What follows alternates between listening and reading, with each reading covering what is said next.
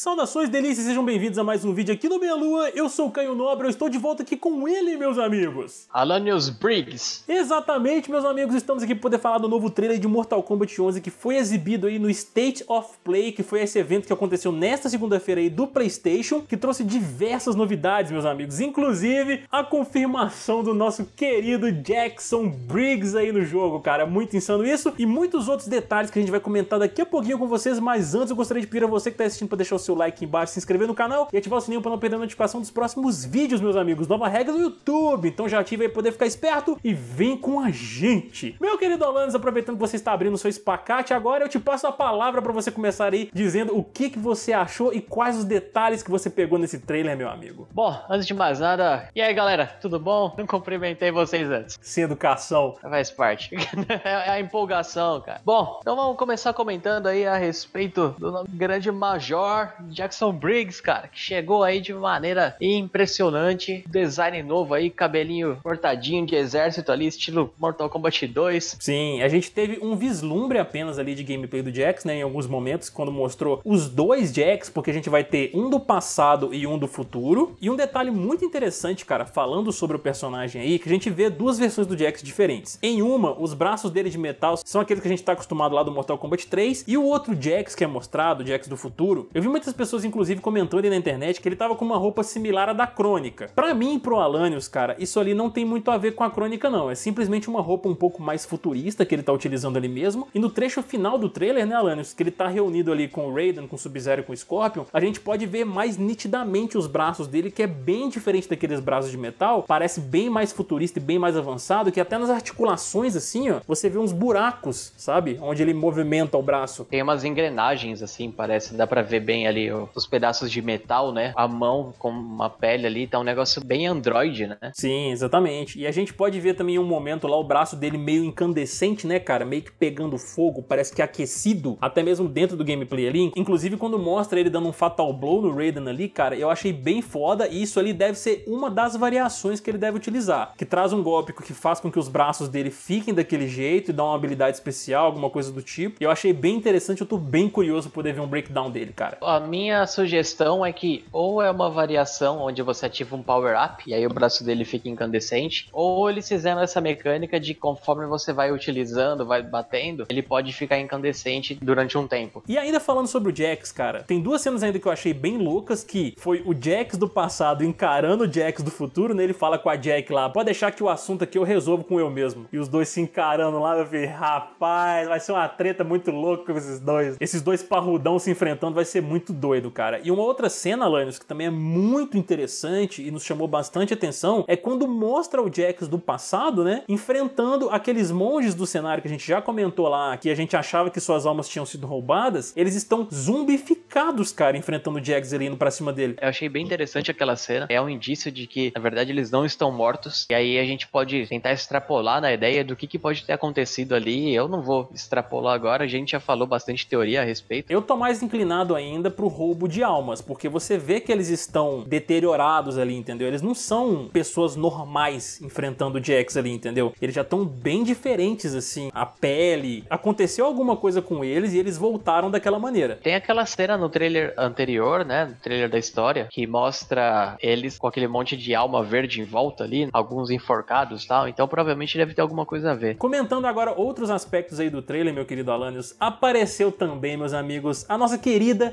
Kitana, cara, com seu design lá sem ser Spectre, a Kitana lá dos Mortal Kombat antigos, que tá com um design bem bacana, hein, cara? Tá sim, ela tá com uma carinha de asiática ali. Parece que dessa vez eles capricharam no modelo, no rosto dela ali. Deram bastante atenção pra Kitana. Ela sempre foi retratada na história de Mortal Kombat como uma princesa extremamente bonita. E de repente chegou um momento em que os caras preferem mais a Melina do que a Kitana. Isso daí tá meio errado, né? Então eu acho que eles resolveram dar uma consertada nisso daí. Que tipo, não, é bonita da história não é a Melina, é a Kitana. Então vamos dar uma acertada nisso aqui. Agora passando pros dois protagonistas desse negócio aí, né, meu querido Alanis, que é o Liu Kang e Kung Lao, que aparecem bastante nesse trailer, inclusive. E começando a falar aqui, cara, eu achei muito louco quando eles estão caminhando e conversando e o Kung Lao vira pro Liu Kang e fala: Nosso futuro, Liu Kang, é insano. Tipo, eu achei que ele ia falar alguma coisa totalmente assim, sábia, entendeu? Tipo, alguma coisa que eles estão destinados a isso. Ele fala: Não, é uma loucura esse negócio, cara. Eu imagino o susto dele nesse encontro de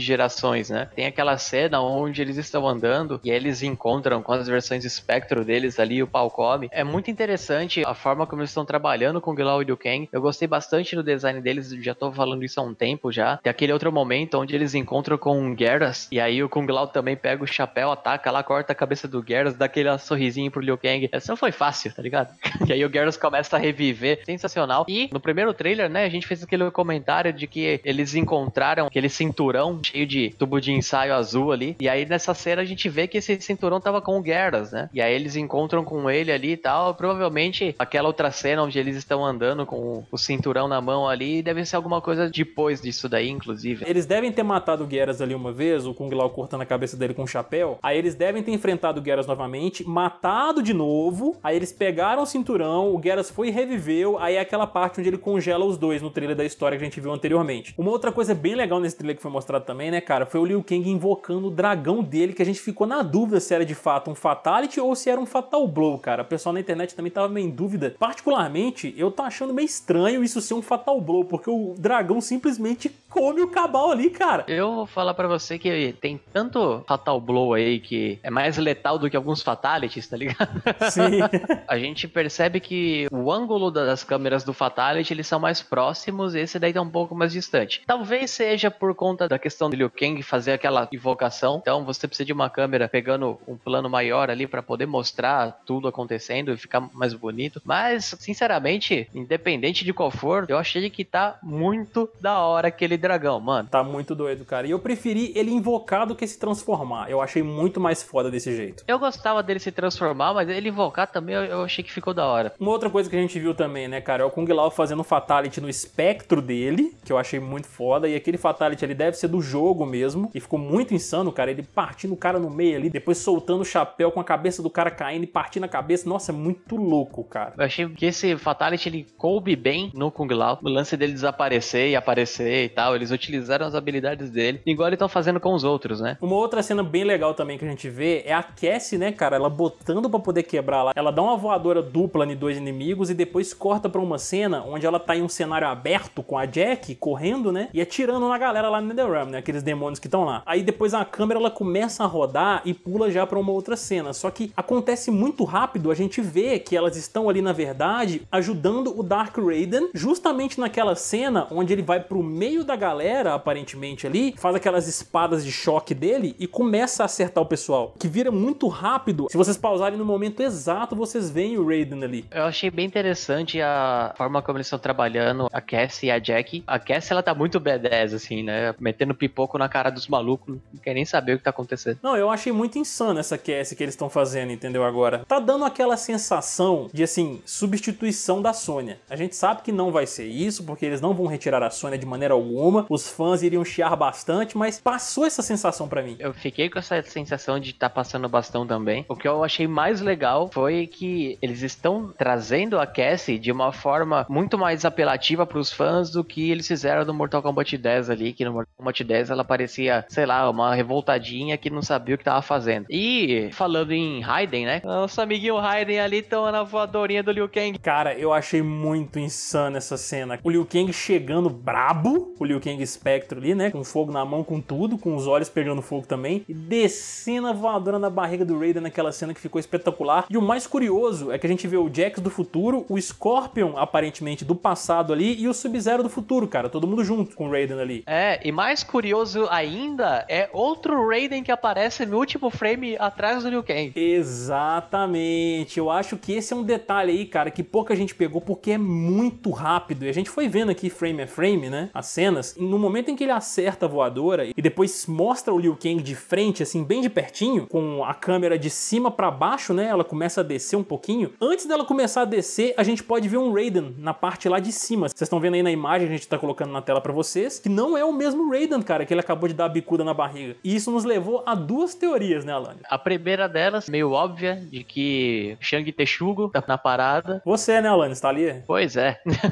Fui descoberto. A segunda teoria, menos óbvia aí, é de que em algum momento Dark Raiden possa ter abandonado o amuleto do Shinnok ali e ter voltado ao normal, né? E aí você tem dois Raidens com um relâmpagozinho azul, né? É, eu acredito mais na primeira teoria. Eu fico muito mais inclinado a ela, porque seria muito foda o Shen Tsung tá ali como Raiden, cara. Ele ali manipulando, igual aconteceu no Shaolin Monks, que a gente viu. Então seria uma baita referência aí, Mortal Kombat Shaolin Monks, ter o Shang Tsung ali como Raiden manipulando, mexendo os pauzinhos ali, pra fins que a gente não sabe qual é, mas são de interesse dele, né? E para fechar, né, cara, a gente tem a cena da introdução aqui, que eu achei muito foda, e a gente tá trazendo ela aqui pra poder comentar, porque foi um detalhe muito engraçado, né, cara? A gente vê o Johnny Cage ali dando um soco no saco do Kano, que é muito bom, e é muito foda que quando ele levanta, cara, ele manda aquela piadinha, volta pros anos 90, que foi justamente a época do Mortal Kombat 3 e daquele Kano e tudo mais, entendeu? Oh, muito doido, achei muito insano essa referência. Dá uma ideia também de qual é a linha do tempo que os caras estão vindo, né? Eles poderiam ter pego esse reboot ali do que teve no Mortal 9 e ter criado uma outra linha do tempo fictícia, seguindo essa ideia, né? Então, Mortal Kombat 10 e tal, aí tem uma dobra e eles passado, mas dentro daquela ideia, né, do Mortal Kombat 10 lá em algum momento. Só que aí é a hora que ele fala volta para os anos 90, então você já começa a ter uma noção da onde que realmente os caras estão tirando esses personagens do passado, né? Que eles são personagens do passado mesmo ali da década de 90 tal, são personagens do nosso passado. E isso é muito legal. Esse trailer ele trouxe muita informação pra gente, confirmou mais alguns personagens que a gente tava esperando também, principalmente o Jax. E a gente mal pode esperar, né, cara, poder conferir mais aí do Mortal Kombat. Essa semana tem beta, a gente vai fazer live aqui para vocês. E agora a gente passa a palavra para você, querido espectador que tá assistindo agora, poder comentar aqui embaixo o que você achou desse trailer, cara, de todos esses detalhes que a gente trouxe aqui para vocês. Vocês haviam reparado nesse segundo raider que a gente comentou que apareceu no final desse trailer? O que vocês têm a dizer de tudo isso que foi mostrado? Comenta aqui embaixo, a gente vai adorar conversar com você sobre isso. E não se esqueçam novamente de deixar o seu like embaixo, se inscrever no canal e ativar o sininho para não perder a notificação dos próximos vídeos, meus amigos. Vamos ficando por aqui. Um beijo, gostou ser dois molhado na popinha esquerda e direita de cada um de vocês. Até mais. E... Fomos!